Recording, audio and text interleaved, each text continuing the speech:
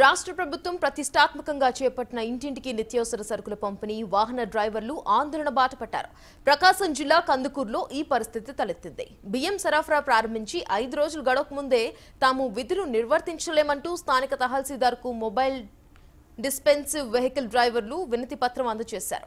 Driver విధులతో పాటు బస్తాలు వాహనంలోకి మోసే కూలీ పనులు చేయాల్సి వస్తోందని డ్రైవర్లు వాపోయారు. బియ్యం సరఫరాలో తగులు తరుగుదల ఉంటే తమను సొమ్ములు చెల్లించమంటున్నారని వాపోయారు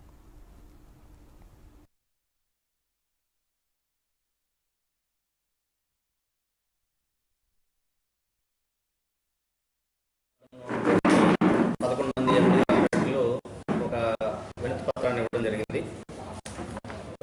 సో అందులో మరి ముఖ్యాంశాలు ఏంటంటే నేను మాకు హెల్పర్ ఇబ్బందిగా ఉంది మేము మోసుకోలేకపోతున్నామని ఇచ్చేటువంటి హెల్పర్ యొక్క వేతనం సరిపోవట్లేదని జిల్లా కలెక్టర్ గారి ఆదేశాల ప్రకారం ట్రైనింగ్స్ ఇచ్చినా కూడా ఏదైనా ఒక నెల గట్టిగా వాళ్ళు ఫీల్డ్ మీదకి వెళ్ళి పంచితే తప్ప ఈ పాస్ మిషన్ తోటి వాళ్ళు తరువుగా ట్రైన్ అయ్యేటువంటి అవకాశం ఉంటుంది కాబట్టి ఈలోపు వాళ్ళకి మోరల్ సపోర్ట్ ఇవ్వడానికి సహాయ సహకారాలు అందించడానికి ఎటువంటి సమస్యలు ఉన్నా మాతో కోఆర్డినేట్ చేయడానికి విఆర్ఓని మార్నింగ్ ఆరు గంటల నుంచి నైట్ డిస్ట్రిబ్యూషన్ మొత్తం ఆ రోజు షెడ్యూల్ ప్రకారం అయిపోయే వరకు కూడా విఆర్ఓని చేయడం జరిగింది. వాళ్ళు అలవాటు అయిన